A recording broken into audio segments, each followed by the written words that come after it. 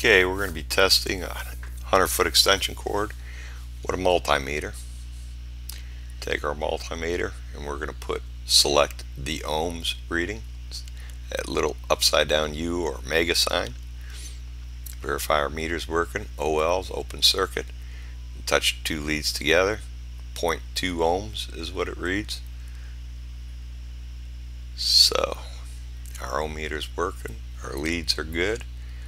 Let's check out our extension cord. Okay, we take our extension cord,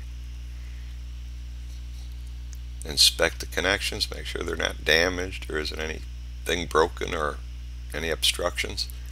First we'll check out our ground side of the connector. And you can see reads 0.8 ohms that's a good wire. We have good connection there. Okay, then you want to take your meter lead and just touch the other probes on the plug. Make sure it's not shorted out. Make sure you don't get a continuity reading. It needs to read dead open. Okay, so now we'll go to the hot side of the plug. We'll check it over here on the, on the other side. Make sure we have continuity. And we do 0.7 ohms. So we got a good connection. Everything's good there. Take our lead and check it against the other probes or plugs and make sure we have no continuity and we got an open circuit. Okay, that one's good. We'll go to the common side of the plug. Take it there. Check. Reads 0.7 ohms.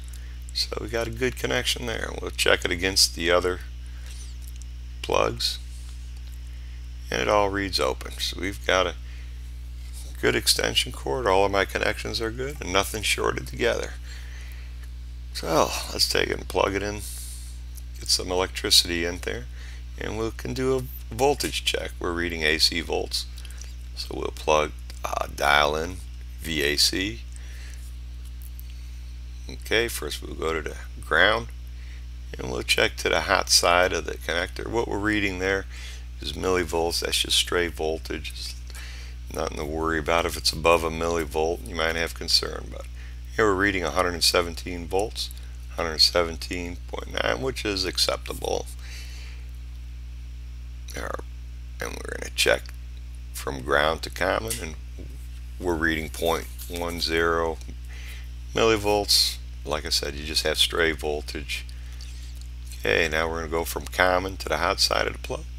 Read 117 116 volts which everything checks good there. So we got a good plug. Hope this video was helpful.